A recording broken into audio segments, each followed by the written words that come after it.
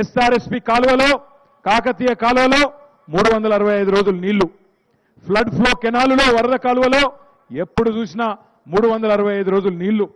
పైన అప్పర్ మానేరు నుంచి లోవర్ మానేరు దాకా లోవర్ మానేరు నుంచి కింద గోదావరి దాకా ఎక్కడ చూసినా జల కలతోని ఇలా కరీంనగర్ ఉమ్మడి కరీంనగర్ జిల్లా కలకలలాడుతూ ఉన్నది. కరెంటు బాగైంది తాగునీళ్ళు బాగైనాయి సాగునీటి కోసపోయింది సంక్షేమము నేను చెప్పనే అవసరం లేదు. రెండు వందల పింఛన్ తీసుకునే అవ్వ ఇవాళ రెండు వేల రూపాయలు తీసుకుంటున్నది. మళ్ళీ మూడవసారి కేసీఆర్ ముఖ్యమంత్రి అయితే ఎంత అవుతుంది పెన్షను?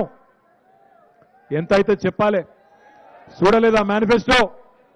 రెండు వేల రూపాయల పెన్షన్ ఏదైతే ఉన్నదో మూడవసారి మళ్ళీ మీరు కేసీఆర్ గారికి అధికారం ఇస్తే ఐదు వేల రూపాయల పెన్షన్ కాబోతున్నదనే మాట ఈ సందర్భంగా విజ్ఞప్తి చేస్తా ఉన్నా.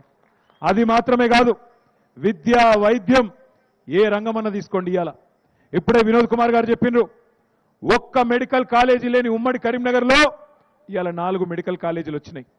బ్రహ్మాండంగా ఇవాళ గురుకుల పాఠశాలలు మంత్రివర్యులు కమలాకరణ నాయకత్వంలో రాష్ట్ర వ్యాప్తంగా ఉండే బలహీన వర్గాల బిడ్డలకు కానీ ఎస్సీలకు కానీ ఎస్టీలకు కానీ మా మైనారిటీ పిల్లలకు కానీ వెయ్యిన్నొక్క గురుకుల పాఠశాలలున్న ఒకే ఒక్క రాష్ట్రం భారతదేశంలో తెలంగాణ మాత్రమే. ఆ క్రెడిట్ కూడా మన గౌరవ మంత్రివర్యులు కమలాకర్ గారికి కూడా దక్కుతుంది. కేసీఆర్ గారి నాయకత్వంలో అద్భుతంగా ఇవాళ బలహీన వర్గాల సంక్షేమ శాఖను అత్యద్భుతంగా నిర్వహించిన నాయకుడు గంగుల కమలాకర్ గారు.